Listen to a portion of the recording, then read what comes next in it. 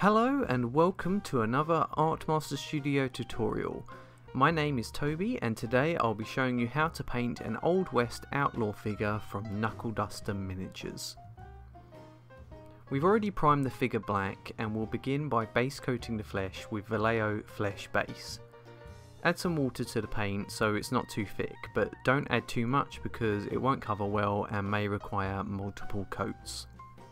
I'm leaving some black between the fingers for added shading, try and be fairly neat to save yourself time later.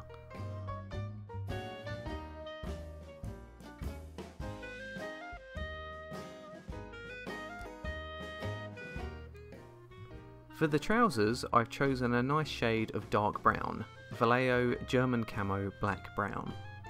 This colour is very versatile and can be used as a base coat for many things such as wood, hair or leather. Moving on to the jacket, I've gone for a Vallejo Burnt Umber. This is an earthier shade of brown, but still nice and gritty for a mean outlaw.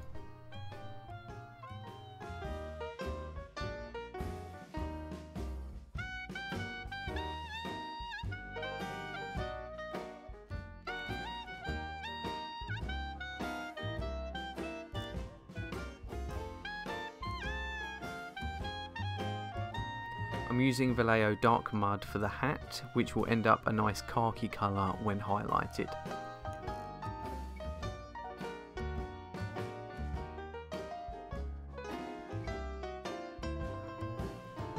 For an added splash of colour, I've chosen to paint his necktie pink. I'm base coating it in Games Workshop Tusk Gore Fur.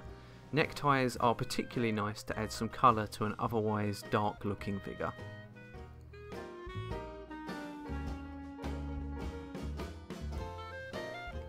Next I'm using Vallejo Dark Rust for the shoes and belt. I'm also using it on the hair as well as the gun stock. As these areas are all fairly small, it's not a big deal if they share the same colour.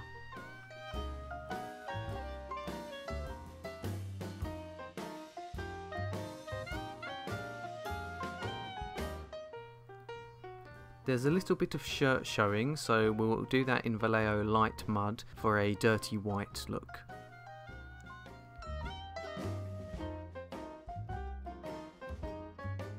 We'll paint his gun with Army Painter gunmetal. This will also be used for his spurs later. I went back to Burnt Umber to undercoat the rope on his hat.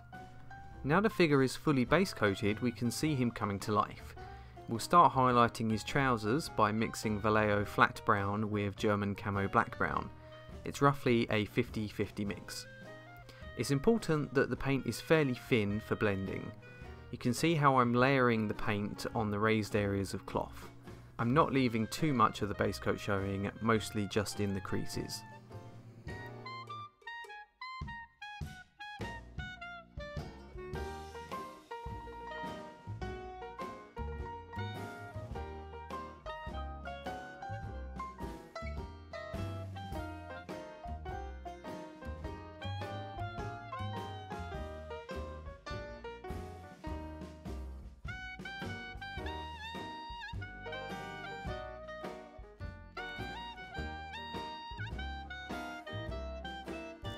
I mix Vallejo US Field Drab with Burnt Umber for the jacket highlight.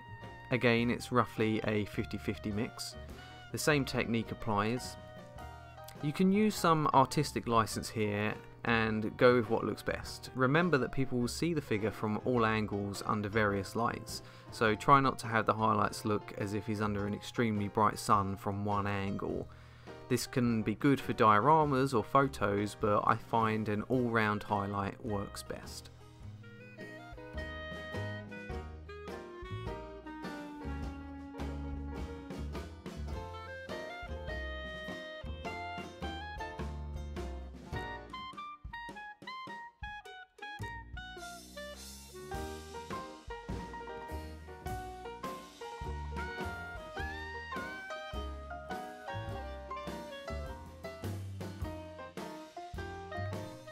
For the first hat highlight, I mix Vallejo khaki with dark mud in a 50-50 mix.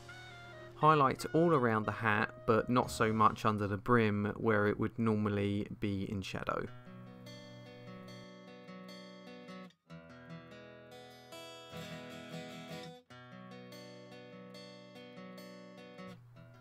Now for the flesh, I'm using Games Workshop Agrax Earthshade this is a very good way to add quick shading to your flesh. It pulls into all the natural crevices and creates a solid foundation to highlight. It's almost like cheating. We'll highlight the necktie with Army Painter Scar Tissue. This is a nice dusky pink to complement Tuskgor fur. For the leather, we'll use a mix of Vallejo leather belt with dark rust. Again, 50-50 mix. Try and pick out the small details on these parts like shoe soles and individual bullet loops. Now we've highlighted everything at once, we're on to the final stretch where the figure really starts looking good. The trousers are highlighted again with Vallejo flat brown on its own this time. Paint over the trousers leaving some of the first highlight showing. Focus on the upper part of each fold of cloth. This will create a natural transition between the layers.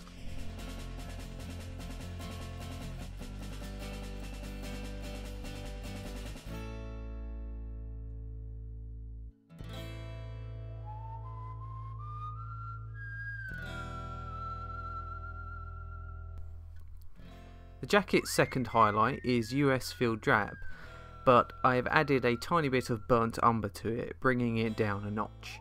If you're unsure if the contrast is too much, try it in a small area of cloth first and let it dry. If it doesn't look right, darken it down and try again.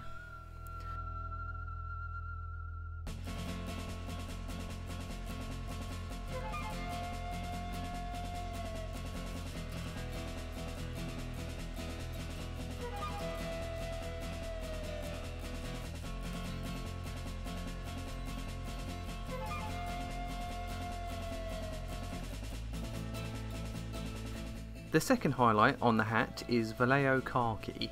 Focus on the extreme edges of the brim and the top of the hat.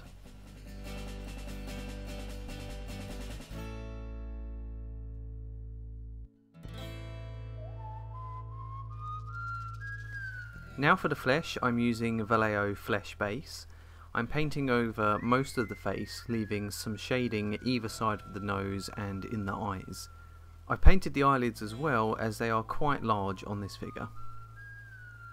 Paint the entire back of the hand and each finger. Don't leave too much shading, mostly just between the fingers and where the hand meets the jacket.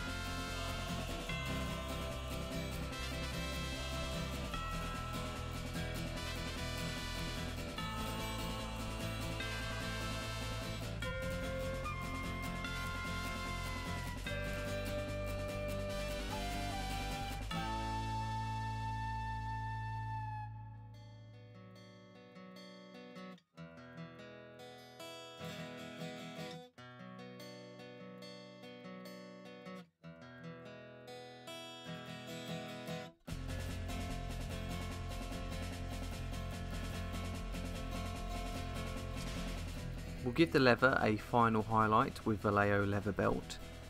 We'll also use this on the hair and gun stock.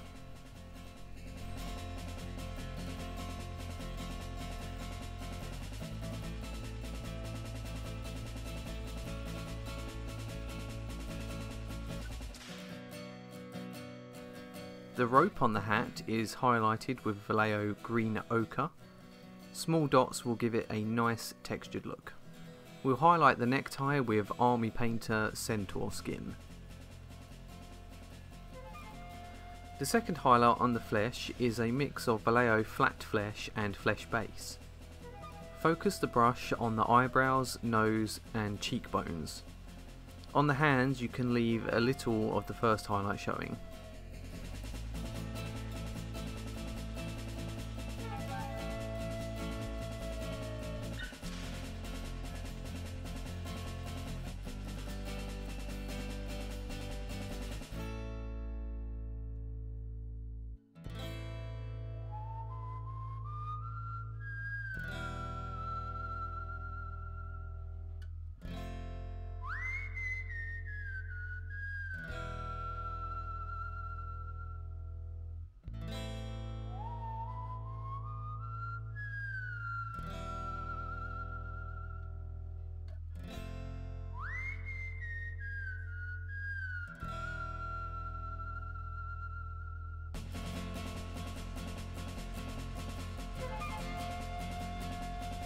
We'll paint the lip in Games Workshop Tuskgor Fur to add some life to the figure.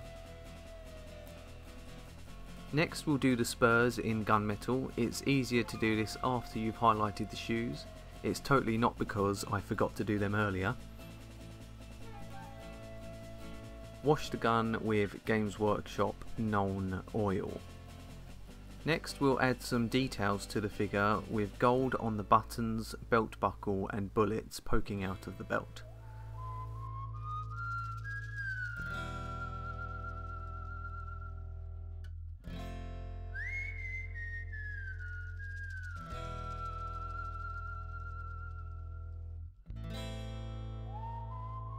We'll do a final highlight of Vallejo flat flesh on its own. Only use this sparingly on the knuckles, nose, eyebrows and cheekbones.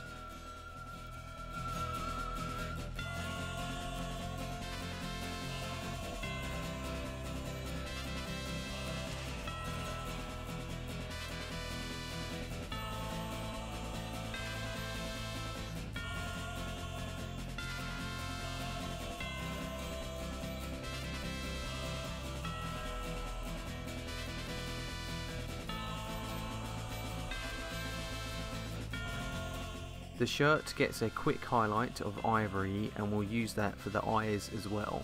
It turns out it's very hard to paint eyes from behind a camera, so I made a bit of a mess here. I correct it off camera with some flat brown and ivory. Just take your time and make sure you can see what you're doing. I also highlighted the gun with a bright silver and tidied up some areas in between colours with black for an overall neater look. And that's it for the tutorial. You can find us at artmasterstudio.co.uk and on Facebook just search for Artmaster Studio. If you'd like to commission us, send us an email to artmasterstudio at hotmail.co.uk.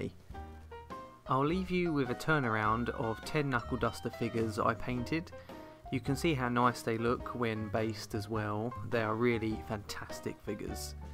There are links in the video description to our website and the Knuckleduster website. Make sure to like and subscribe and hit the notification bell to stay up to date with future tutorial videos. I'm looking forward to reading your comments and responding to any questions you might have. That's all for now, so thank you for watching and I'll see you next time.